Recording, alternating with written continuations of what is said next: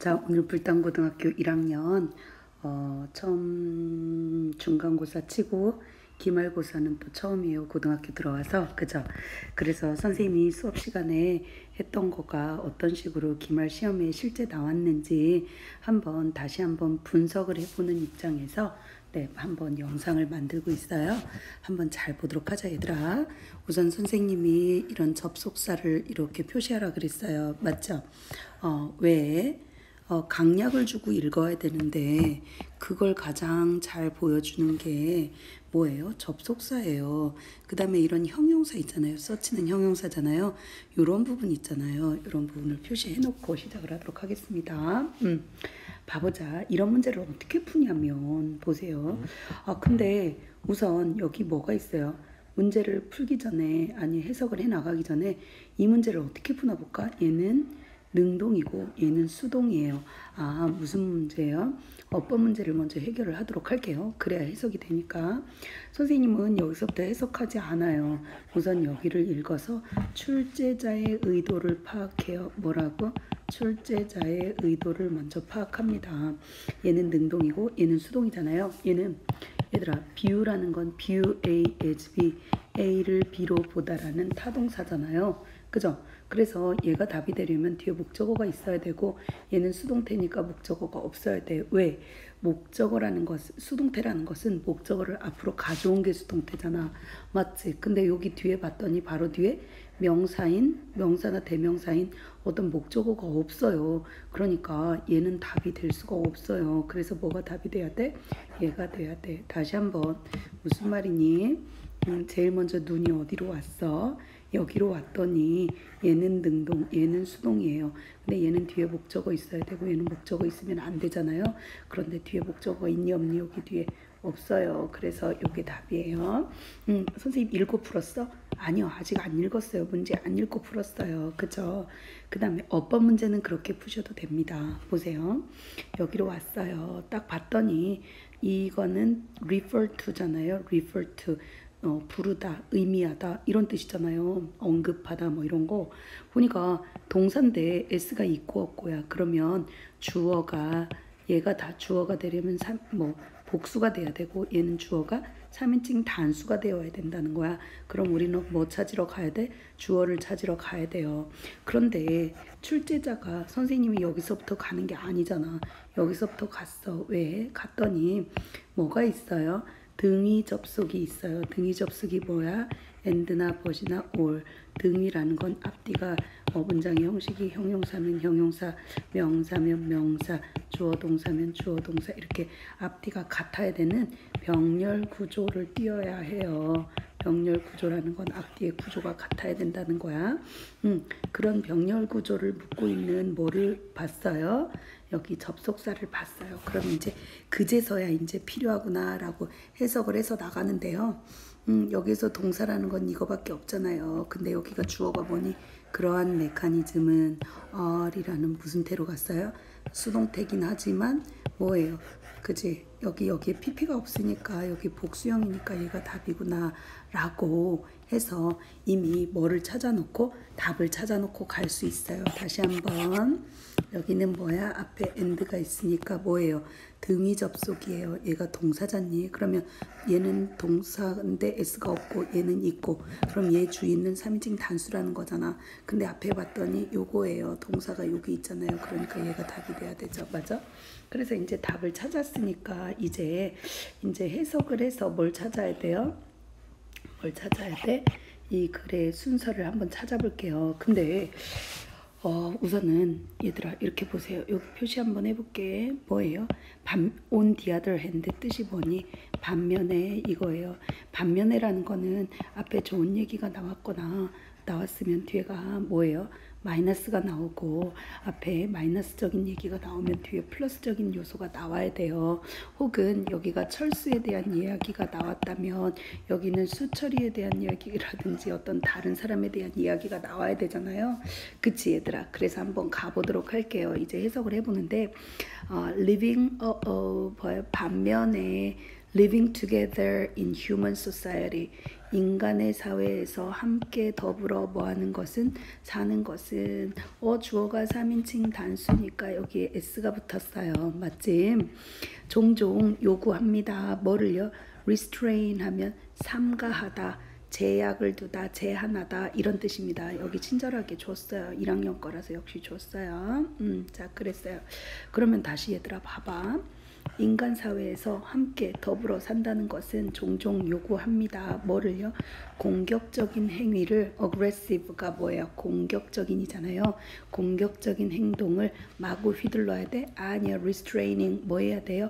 억제할 줄 알아야 됩니다. 그러니까 억제하다, 제한하다 하는 거 보니까 너희들 대표적인 단어 curve라는 단어도 기억하셔야 돼요. 이 curve는 재갈을 물리다, 억제하다 이런 뜻입니다. 그래서 이렇게 바꿔 놓으실 수도 있어요. 음. 아, 그러면 다시 한번 여기 반면에 인간 사회에서 함께 더불어 산다는 것은 뭐 공격적인 성, 뭐 행동을 억제하고 제한하는 것을 필요로 합니다라고 했네. 그러면 얘들아 내 생각에 여기는 인간 사회야. 그럼 이 앞에는 혹시 동물의 세계가 있나? 이런 생각이 들지 않니? 어, 이런 걸 어느 정도 생각을 해보고 가는 게 좋아요. 그럼 우리 가서 확인을 해보자. 어디에서 봤더니 from an evolutionary perspective. 뭐죠? 진화적 관점에서 볼 때 공격 공격성이라는 것은 맞니? 뭐예요? Aggression? 공격성이라는 것은 can be viewed 보여질 수 있습니다. 어떤 적응하는 행동으로 여겨질 수 있습니다. 어? Adaptive 알지 얘들아? APT 동그라미 쳐볼까? 너희들이 새로운 아파트로 이사 가면 그 아파트에 뭐 해야 돼요? 적응을 해야 되잖아요. 그렇게 외우면 좋을 것 같아요. 그죠? 적응하는 행동이랍니다. 적어도 in some situations 모든 경우는 아니지만 일부 어떤 경우 상황에서는 그렇대요. 다시 얘들아. 다시 진화적 관점에서 봤을 때 공격성이라는 것은 내가 어떤 상황에서 적어도 어떤 상황에서는 음 내가 그 살아가는 과정에서 적응하기 위한 그런 꼭 필요한 그런 걸로 여겨진다라는 거예요. 아, 이해 간다. 맞잖아. 예를 들어줬어. 근데 무슨 말인지 조금 어려워하는 사람이 있을까봐 예를 들었어.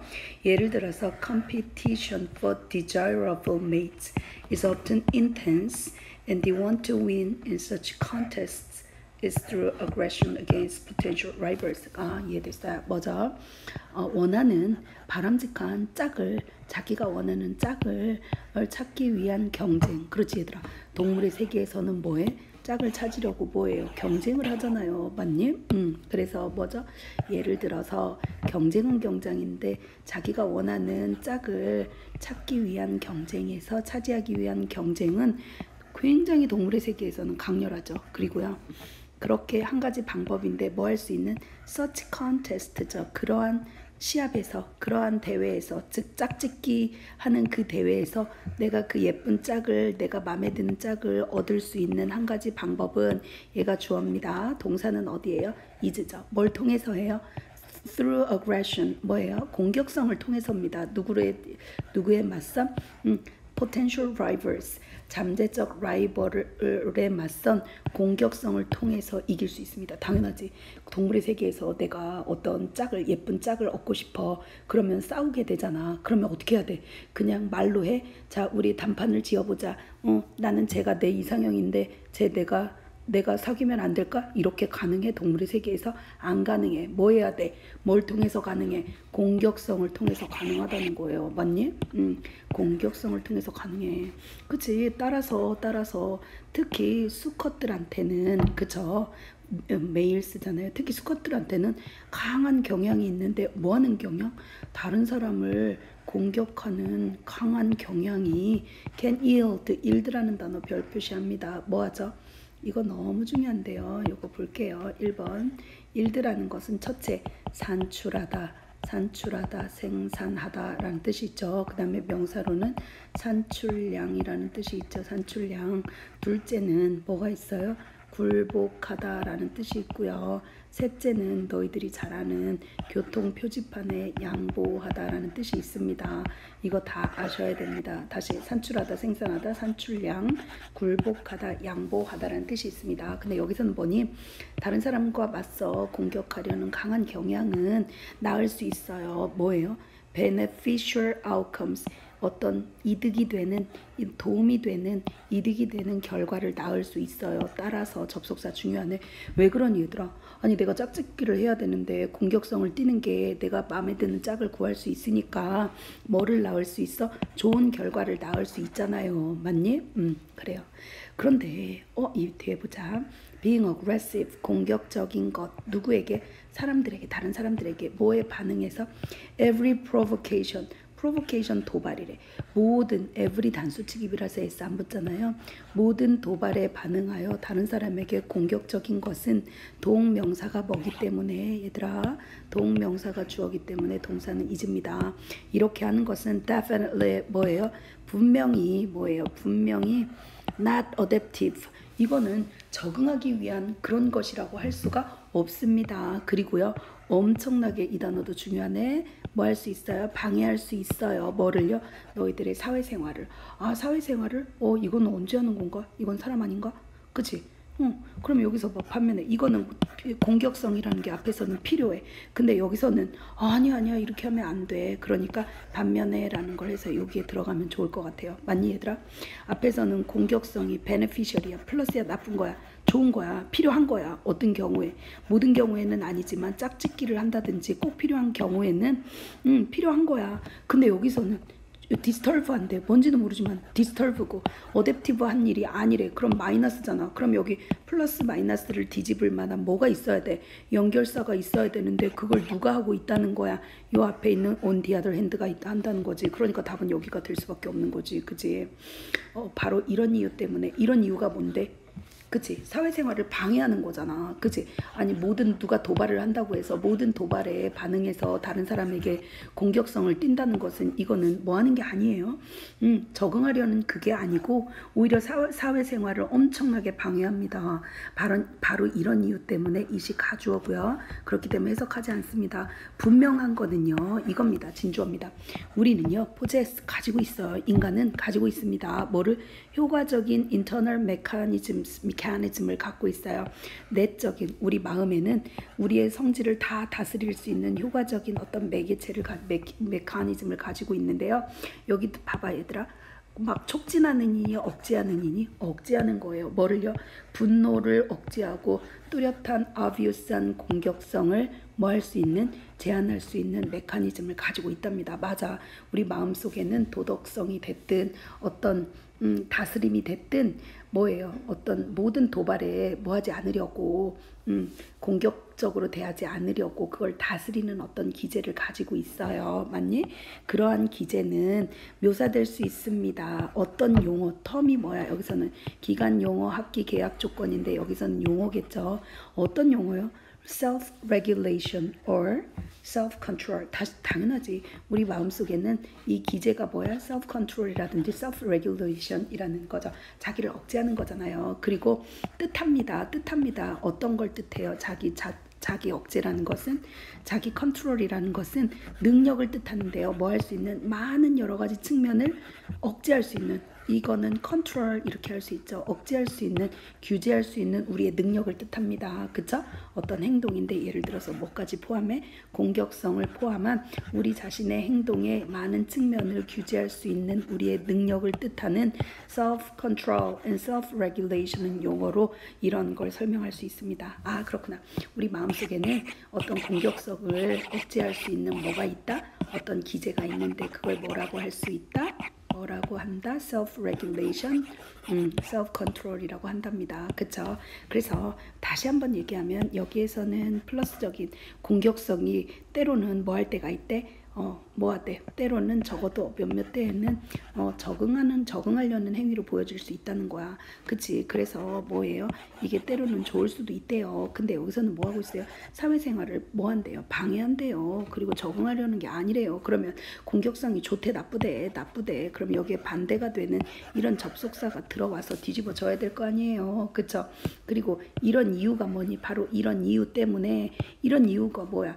이렇게 모든 거에 다 도발하는 것은 적응하려는 게 아니고 사회생활을 뭐 하기 때문에 방해하기 때문에 이런 거죠. 그런 이유를 갖다 쓰시면 돼요. 그죠?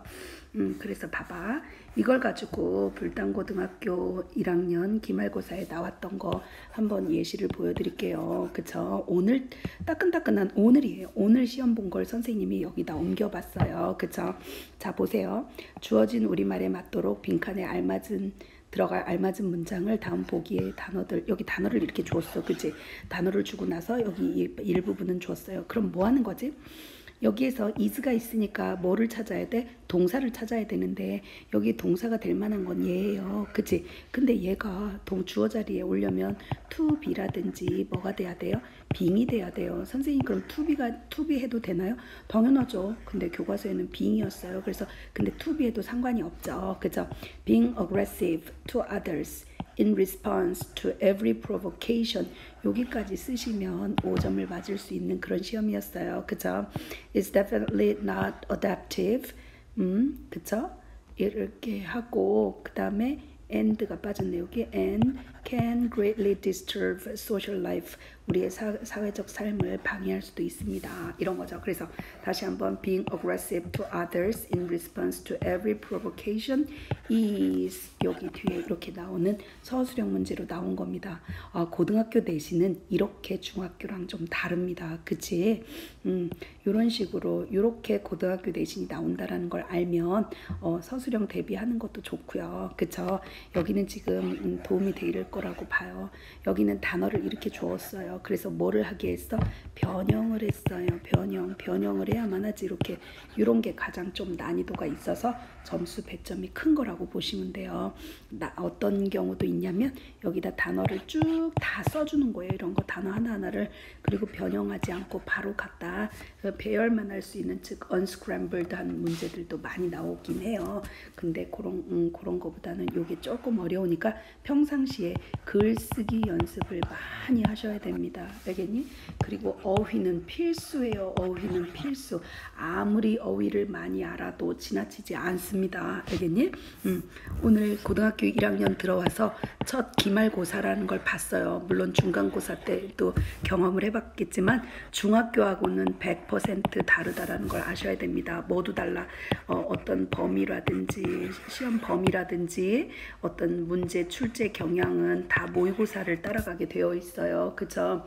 모의고사 형식을 따라가게 되어 있는데 근데 그 중에서 서술형이 있다라는 게 또 큰 여러분이 어렵게 느낄 그런 면입니다. 그래서 그걸 중학교 때부터 미리미리 준비를 하셔야 합니다. 오케이? 그런 면에서 IB 학원이 정말 서술형 unscrambled 하는 그런 특별한 코너가 있잖아요. 그리고 다양한 독서를 하게 하잖아요. 그래서 IB 화이팅, Read and Talk 화이팅입니다.